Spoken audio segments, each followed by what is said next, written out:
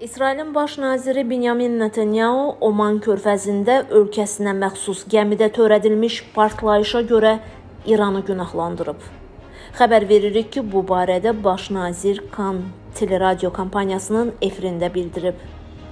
Bu həqiqətən də İranın əməlidir. Bu məlumdur, deyə Benyamin Netanyahu qeyd edib.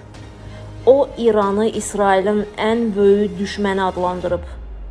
İsrailin bu zərbəyə qarşılıq verəcəyinə dair sualı cavablandıran Benyamin Netanyahu vurğulayıb ki, ölkəsi İranın nüvə potensialını inkişaf etdirməsinin qarşısını almaq əzmindədir.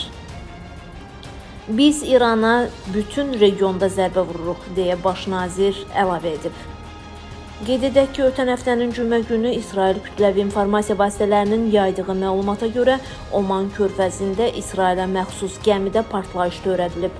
Hadisə nəticəsində heç kim xəsarət almayıb, çox şükür.